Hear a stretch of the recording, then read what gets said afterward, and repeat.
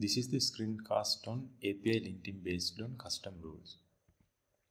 I am Sunet Samarasinghe, software engineer at WSO2. API linting helps to ensure that an API is well designed, easy to use and follows industry best practices. There are standard guidelines for writing API definitions, such as OpenAPI specification, which describes the structure of an API. Apart from the standard guidelines, one hmm. might want to enforce a set of customized rules to maintain the API definitions up to a corporate level standard. For an example, the email addresses in an API definitions can be limited only to corporate email addresses. I'll be showing how to do this in the demonstration.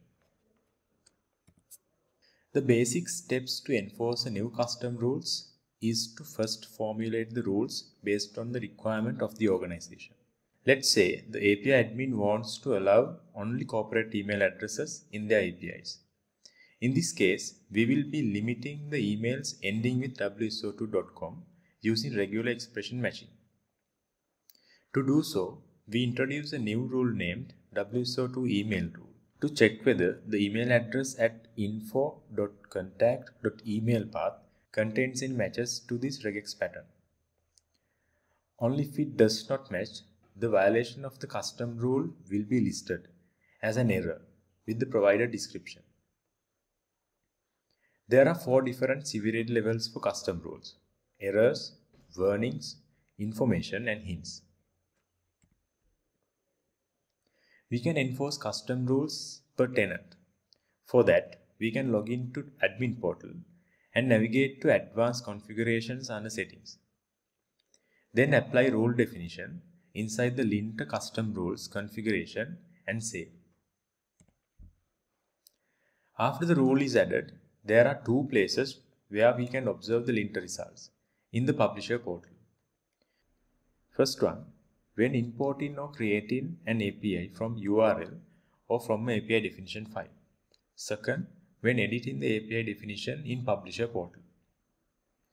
Then, after observing the linter results, the developer can correct the definition to meet the company specific standards. WSO2 API Manager uses stoplight spectral linter for linting API definitions. Therefore, when formulating a custom rule, we have to abide with the stoplight spectral linter rules specifications that you can access through this link. Let's get a better understanding of the process using an example. I have logged into the publisher portal now. Let's go ahead and create the PizzaShack API by clicking on Deploy Sample API. Once it is done, under API configurations, let's go to API definition. If you click Edit here, the API editor drawer will pop up. On the right hand side of the editor, you can see the API linter summary as you can see, currently there are no errors and only 10 warnings related to this API definition. Let's see what happens when we enforce our new email rule. To do that, let's go to the admin portal. On the sidebar, under the settings section, we can access the advanced configurations here. Let's copy the new email rule and add it here like this and hit save. Now let's go back to the publisher portal and check the linter results. As you can see, now there is one error message from our new email rule. If you click on it, it will direct us to that particular line of code and we can fix the error by changing the email to wso2.com.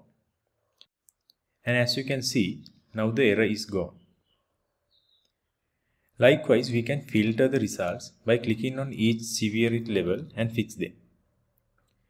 If we are happy with the API definition, we can go ahead and update the content, then hit save. That's the end of the demonstration. Thank you.